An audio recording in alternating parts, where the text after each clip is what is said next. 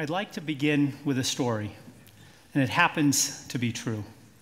A young physician starts a job on a maternity ward in a famous European hospital. He watches young women who were previously healthy dying of overwhelming infection shortly after childbirth. He's appalled at the high death rates, which peak at 15% in one year. He investigates the problem, comes up with a simple solution, implements it on a small scale, and sees a dramatic decrease in infection and mortality. He tries to spread his simple solution elsewhere. But for the most part, he's ignored, ridiculed, and rejected. He finds himself out of a job. He goes to a different hospital in a different European city, confirms his findings, tries to spread them, and again is ignored and rejected. He ends up dying at the age of 47 in an insane asylum. Thus ended the life of Ignaz Semmelweis, the famous Hungarian obstetrician who is known as the father of hand hygiene. Semmelweis noted that when medical doctors who were coming from performing autopsies washed their hands with antiseptic solution before delivering babies, the rates of infection in mothers and their death rate decreased by 90%. Incredible. Consistently implementing evidence based practices like hand washing, however, remains a challenge even today. This despite the fact that hand washing is considered the most important way of preventing lethal hospital infections. Hospital infections affect about 2 million Americans every year, 100,000 of whom die. Importantly, 70% of these infections could be prevented if evidence based recommendations were used. So, while on the one hand, we have an explosion in biomedical research with novel diagnostic tests like functional MRI, life saving new drugs, and robotic surgeries that are very high tech. What I'm going to talk about is decidedly low tech, something that we all learned the importance of in preschool and that's washing our hands. We know that hand washing prevents infection, and we have known this for a century and a half. My focus will be on what is preventing the widespread implementation of this and other practices that prevent hospital infection.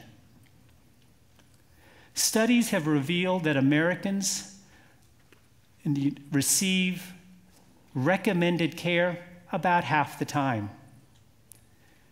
Even 150 years after Semmelweis, however, another study reported that just 40% of healthcare workers comply with hand hygiene practices. The rates are higher in nurses than they are in doctors, and they are higher after touching the patient rather than before, likely related to self protection. So, despite knowing the importance of hand washing for a long time, why are doctors and nurses not washing their hands? Or put another way, how can we change people's behavior so that the right thing is done each and every time a patient is admitted to the hospital? Our research has shown that there are several barriers to change. One major hurdle is that healthcare workers often don't like to change behavior. And in fact, we call these individuals the active resistors. They like doing things the way they've always been done. Why? It's always been done that way. And while there are some nurses in this category, I have to say this is the purview of doctors. At least the good news is, is you know who these individuals are, so you can engage them in a conversation because they'll raise their hand, say, I disagree. I don't believe the data, or that's not a problem in our hospital. The second group of individuals that serve as a barrier are people that are much more difficult to figure out who they are.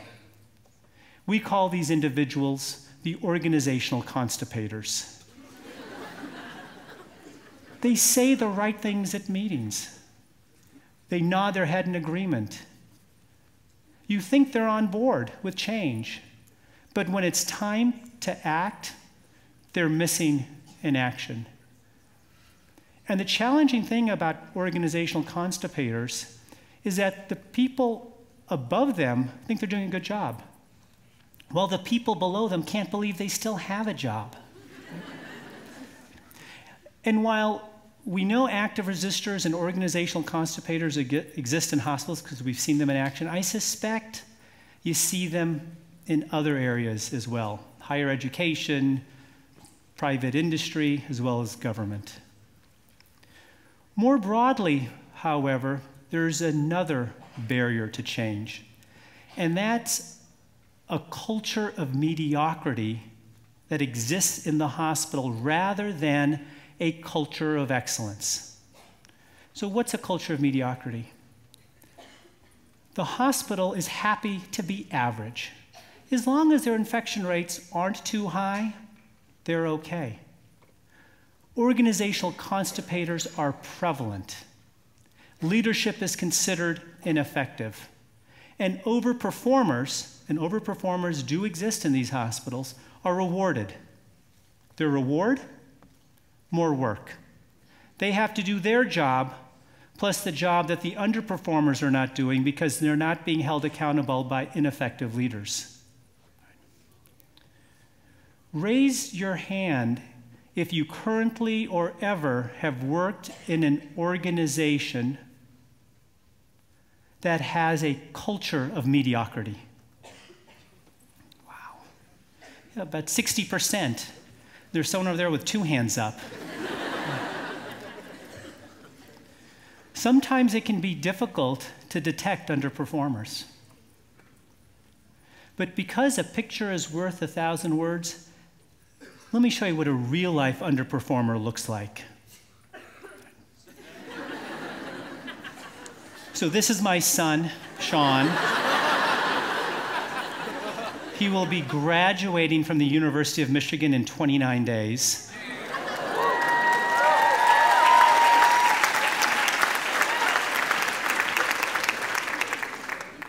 But shown here he learned how to do something that he perfected while in middle, school. And that, is, and that is how to kick back and enjoy the ride, right? So, how do we overcome these problems? There are many approaches, but what I'd like to focus on is changing the culture through conformity and social learning. Conformity and social learning are universal. I'm a member of many different groups, many different cultures, and each has elements of conformity in social learning. First, some definitions. Conformity just means that you behave in a way that the people around you are behaving. And even though it has somewhat of a negative connotation, I think conformity can be very powerful in changing behavior. I'll show you how in a moment. Social learning occurs when the group's behavior becomes internalized by the individual and it becomes their own behavior. And in fact, this cultural transmission of behavior can be thought of as a second inheritance system. Behavior is transmitted from person to person, but not through the genes or DNA, but through culture. Let me share with you an example from the animal kingdom, specifically related to monkeys. In this study of 109 wild vervet monkeys, the investigators did the following. You should know that monkeys like corn. So they, called, they took one color of corn, which was pink, and it was treated to taste bitter in two of the four groups. The other color, blue, was left untreated and naturally tasty. In the other two groups, it was just reversed. After six months, the researchers returned and provided the two colors of corn to the various groups again. This time, all the corn was tasty. The focus was on infant monkeys and immigrant monkeys. And this is what they found. The preference for the tasty color was retained even when both colors were untreated and tasted exactly the same. Infants never exposed to the bitter corn preferred the same color corn as their mothers, and most interestingly, males who migrated from a group where one color was preferred abandoned their previous preference and adopted the preference of the new group the monkeys acquired this new behavior through social learning. Another way to think about it monkey see, monkey do. the idea, though, of social learning is something that happens every day and not just in experiments. Let me give you another example from the human kingdom, specifically my wife and her shopping habits. So in Ann Arbor, when we go grocery shopping, we shop usually at one, one or two stores. The first is Kroger, and the second is Whole Foods. So Kroger, large discounted chain, relatively inexpensive, with no explicit focus on the environment. Whole Foods, on the other hand, is an upscale chain, euphemistic for expensive. Some people jokingly refer to it as whole paycheck. Right? With an explicit focus on the environment. And what I find really interesting is when Veronica goes into Kroger, she thinks nothing of loading up the groceries into the environmentally unfriendly plastic bags. But every single time she goes into Whole Foods, it can be on the same day as the day we went to Kroger. She brings her reusable bags.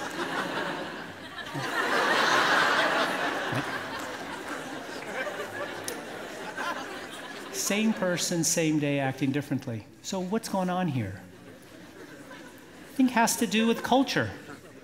Not her culture, but the culture of the stores, which are very different. When I've asked her why she does this, she said, Well, if I don't bring my own bags into Whole Foods, I get dirty looks, and it makes me self conscious. From who? Cashiers, the baggers, the other customers. So, how can we use this idea of social learning to improve healthcare? I believe we need to create a culture so that we refuse to accept anything but the highest standard of care. So that the only acceptable approach in a hospital or in a healthcare system is to treat a patient the way you would want your family member to be treated. So that when a surgeon overlooks hand washing before she examines a wound, or a nurse forgets to wash his hands before inserting the IV catheter, the people around them give them dirty looks and make them feel self conscious. That will change behavior. So, we've talked a lot about creating a culture of excellence, but how is that reinforced and how is that maintained? Leadership is crucial, since the culture of any organization is shaped by the worst behavior a leader tolerates. If we let organizational constipators run rampant, we shouldn't be surprised if the hospital gets even more backed up. Right? In leadership, I realize, is a top down approach to behavioral change. I'd like to now transition into a more bottom up approach, a more personal solution. Because grassroots changes usually happen when it becomes personal when we make decisions several times a day to behave differently. More specifically, I'd like to talk about mindfulness. Mindfulness has emerged as a popular concept, but can it improve healthcare? Specifically, can it help doctors and nurses remember to wash their hands before touching a patient? Perhaps. Mindfulness was introduced by Buddha 2,500 years ago when he said that all things are preceded by the mind. The concept was popularized in the United States by Jon Kabat-Zinn in the 1990s, who taught that mindfulness is the awareness that arises by paying attention on purpose in the present moment non judgmentally. And the thing about mindfulness, fortunately, is that it can be done all the time, several times during a day. Like in the middle of a midterm examination on cognitive psychology, or during a talk in front of 1,300 of your new best friends, right? or when washing one's hands before placing those very same hands onto a vulnerable patient. Importantly, however, when we talk about mindfulness in healthcare, what we really are talking about is heartfulness, which is a state of being in which kindness and compassion and connectedness to others helps guide one's life. So, how then do we kind of apply heartfulness to a busy hospital environment? For guidance, I turn to Dr. Avedis Donabedian.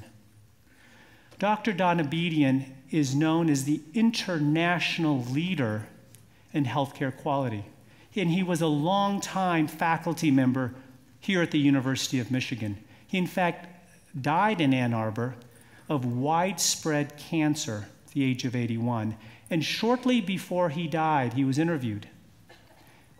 And he was asked, How do you improve healthcare quality? And Dr. Donabedian said, The secret to high quality care is love.